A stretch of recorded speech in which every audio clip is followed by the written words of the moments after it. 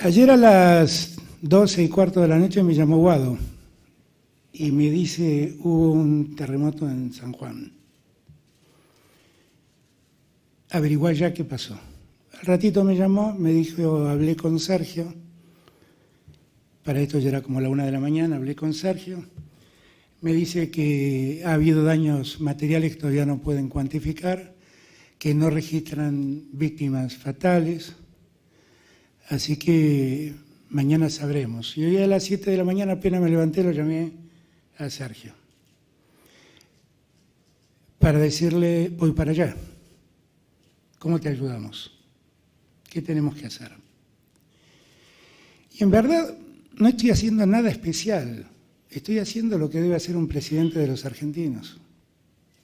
Porque si yo sé que en San Juan, por imperio de un terremoto, hay un sanjuanino que está sufriendo, sé que hay un argentino que sufre. Estar al lado no es firmar un decreto que transfiera fondos.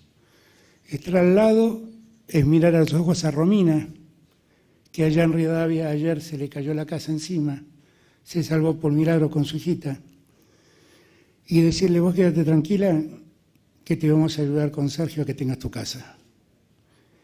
Que no es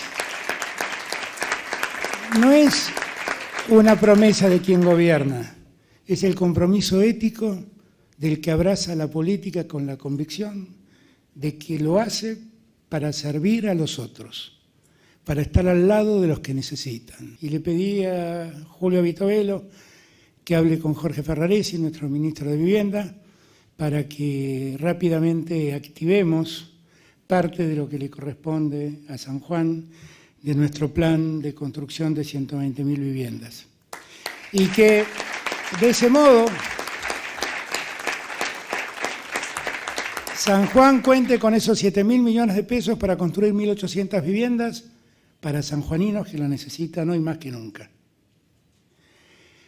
Y además también asignar 120 millones de pesos adicionales para ayudar a urbanizar en el mientras tanto barrios obreros que están necesitándolo.